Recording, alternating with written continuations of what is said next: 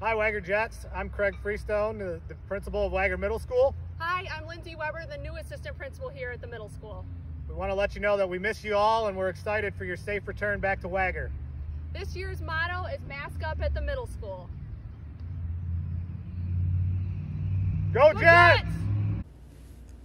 To ensure a safe arrival and departure from school, students must wear a mask on the bus and in the school building throughout the day. Bus windows will be open at all times, weather permitting, as well as the emergency exit hatches at the top of the bus. Students will hand sanitize as they get onto the bus as well as exiting the bus.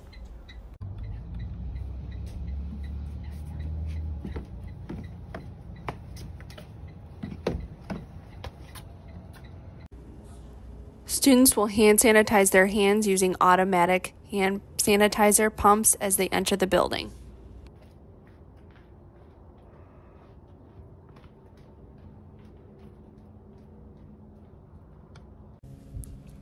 The process will be the same for students who are dropped off in the morning. Students will hand sanitize as they enter the building and head directly to their first hour class.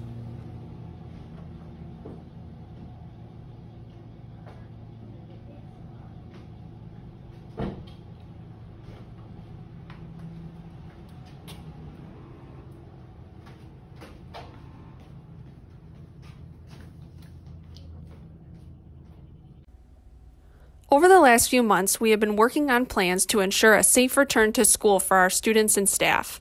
This has been a work in progress and following the Governor's Safe Return to School roadmap. Most importantly, upon students' arrival to school, they will go directly to their first hour with their belongings. Lockers will be made available at scheduled intervals throughout the day. We want to avoid too many students being present in the hallways at one time. In the hallways, there is tape on the floor to show two way traffic.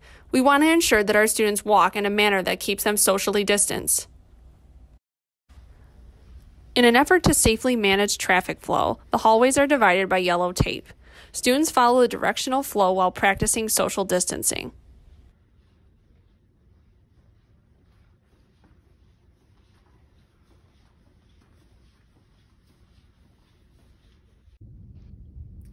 I'd like to take a minute to discuss some changes to our building for this school year. Those of you familiar with Wagar will notice that our formerly our fifth and sixth grade hallway has now become our seventh and eighth grade hallway. And what we've done is we've taken our seventh grade classrooms and our eighth grade classrooms and split them between these two hallways. What this will allow for is us to practice greater social distancing and separation during our common times or our passing times uh, in the hallway and space people out more effectively. You'll also notice that our, near our main office entrance, this hallway has become the sixth grade hallway. Upstairs now has become the fifth grade hallway. So we've made some changes in order to effectively social distance. We've also made some changes to our passing times. Our fifth and seventh grades have been partnered together for the past year. Our sixth and eighth grades have also been partnered together for the past year. Those partner groups will stay the same, but we have adjusted some times for those, for those groups.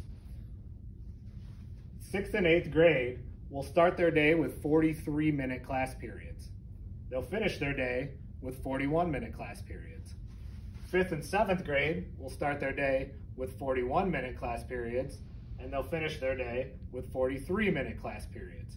What this allows for is some offset passing times for, for our classes, and particularly for our grade levels that share similar spaces. So our seventh grade students will be passing at a different time than our eighth grade students. This will allow us to maximize our social distancing. It'll allow us to have our, our hallways, which are divided with yellow tape. We'll have directional traffic going on in those hallways, and it, it really provides the safest environment we can at Wagar Middle School. We will have share this uh, this slide with you on the next next scene, so you are able to pause it and look a little bit more deeply at this if you choose. Finally, I'd like to say, mask up at Wagar Middle School.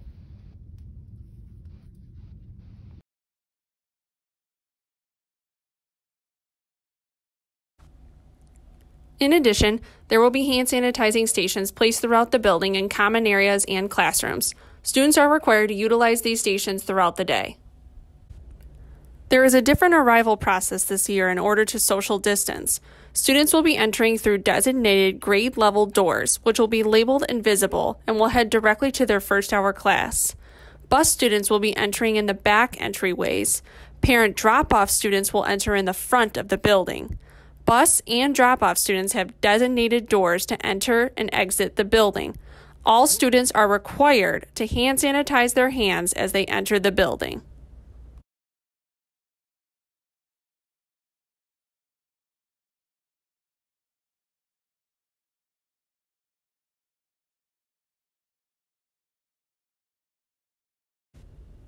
Students will have designated bathroom breaks in order to social distance. It is imperative that students wash their hands upon leaving the bathroom for 20 seconds minimum with hot soap and water. We all want students to be safe and have clean hands upon their return to class.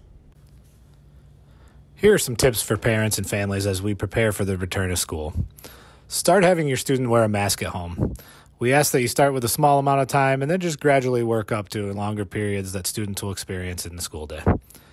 We also ask that you start a daily health screening routine. We think this will help with the transition of the students needing to have these screens done before they enter the buildings, and it'll be helpful if those routines are established prior to the beginning of the school year. We also encourage you to uh, practice proper hand washing techniques and frequent hand sanitation throughout the day uh, because those will be expectations at Wagar. Wagar families, throughout this video, you've seen the steps we're taking to ensure the safety of your students. Um, safety of our staff and students is our number one priority here at Wagar and throughout Airport Community Schools. Uh, whether you've chosen the face-to-face -face option or the virtual option, we want to let you know that your student will be supported. These are very uncertain times and they're very unpredictable and they're rapidly changing and we truly appreciate your patience and understanding throughout these times.